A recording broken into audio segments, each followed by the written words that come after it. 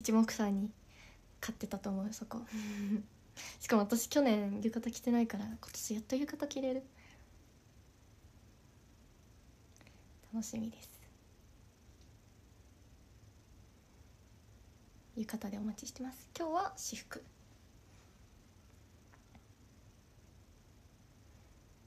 ビジュアルが眩しい。今日。イエイ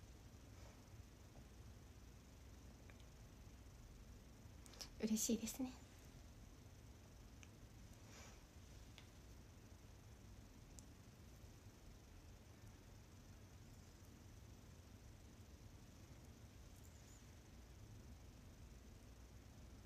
浴衣めっちゃ似合いそう。まあね。まあね。とか言ってもうどうしようずんぐりむっくりになったら。最近ほんとよく食べてるからな。うん本当に。本当によく食べてる。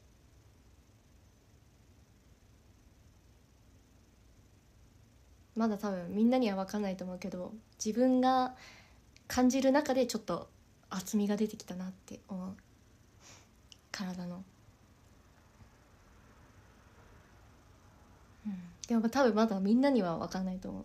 から自分が気づいてる時点で節制しないのとなって思うんだけどなんかすごいお菓子とかめっちゃ買ってしまって今机の上にお菓子がめっちゃあります。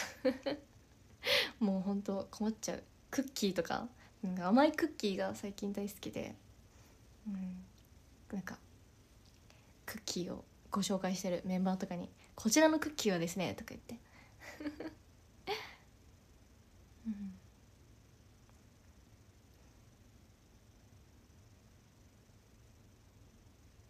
そうなんですよクッキー好きなんだ。そう私ミルクティーが好きなんですよ。で紅茶が好きだから紅茶といえばクッキーじゃないですか。だからその組み合わせで食べて飲んでます。毎日ミルクティー飲んでる。本当に。やばいよね。大好きで。なんかご飯の時も無糖のミルクティー飲んでたりとかする。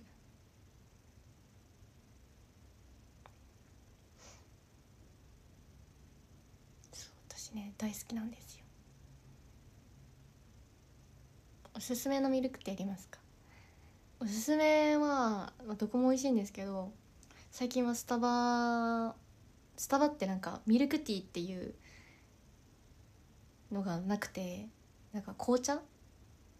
紅茶を頼んでミルクを入れてもらわないとミルクティーが作れないんですけど最近は、まあ、紅茶がブラックティーっていうんですけどブラックティーにブレベミルク追加。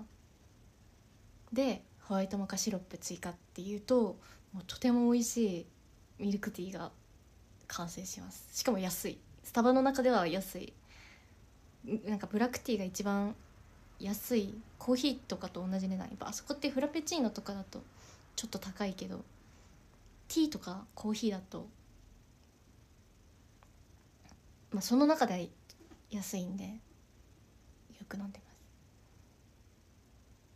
す。試してみたくなる。えー、してみて。でもねそのブレーベーミルクっていうやつがなんか私私も最初分かんなかったんやけどなんか普通のミルクと生クリームが追加になってるからなんかすごいまろやかなんですよ。でもあんまり甘いのとか濃厚なの好きじゃないって人はブレベじゃなくて普通のミルクにした方がいいかも。最近あのよく飲んでます。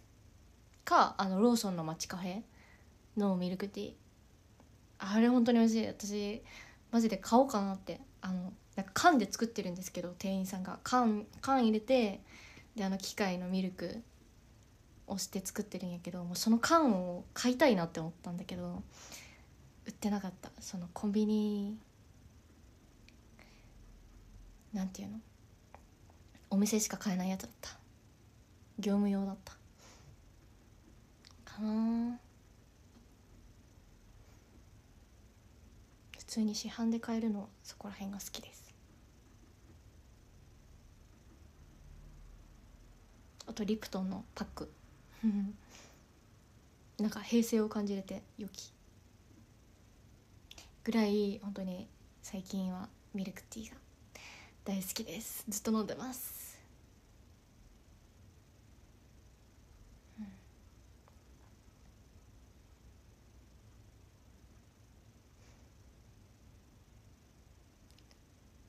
7時15分だって。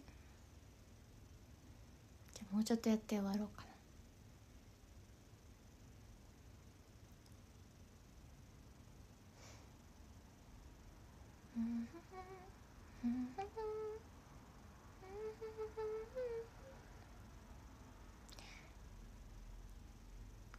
クマありがとうございますクマ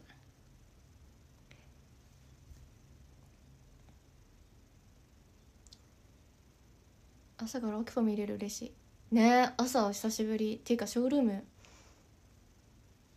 まあこの間言ったか。うん。最近今月あんまりやってないからお久しぶり。朝配信はねめっちゃ久しぶりかも。ヤッホー。朝のおきこだよ。あまりない朝です。おはようございます今日は早起きしたんでね。朝から。でも今日はみんな多分起きてるんじゃないかって思ったんですよ。やっぱ福山会場が福山だから早めに行動してる人が多いんじゃないかなって思って。いや多分見れるだろうって思ってやった。でもそろそろまださすがに出てないのかな。そろそろじゃ行くって人が多いよね多分。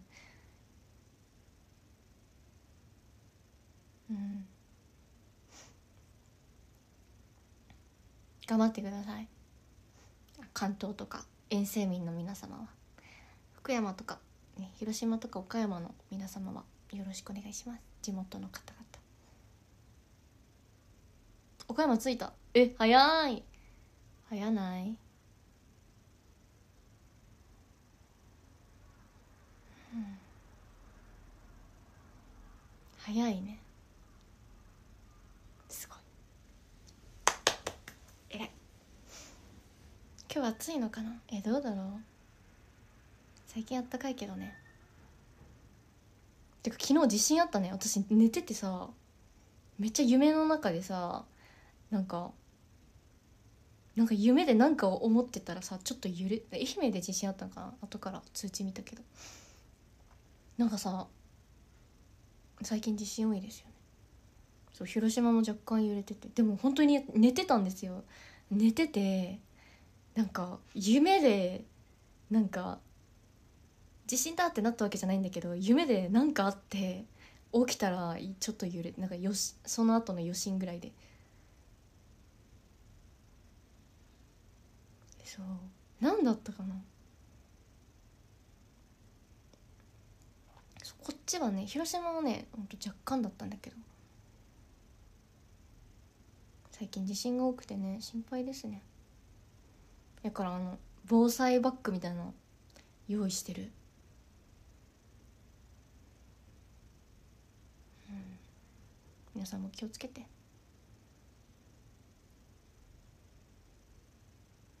お気をつけください。